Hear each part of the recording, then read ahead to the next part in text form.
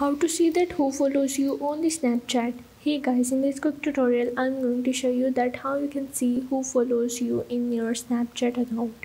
So these steps are really easy and simple. So now let's get started. So first of all you have to go in your Snapchat and here you have to click on your profile.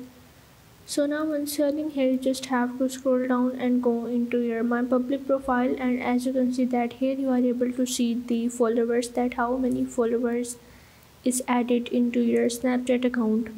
Now how you can see the details in of these followers? For that you just have to go back and you have to scroll into your upside. And as you can see that here is the option of your my friends you just have to click on it. Now basically these are the followers but these are the only users that you follow back you will be also be able to see your followers in the add friends section. For that you just have to go back and you have to go into your add friends. And here is all of your friends section that will follow you. Now here you are able to see all of your friends that follows you.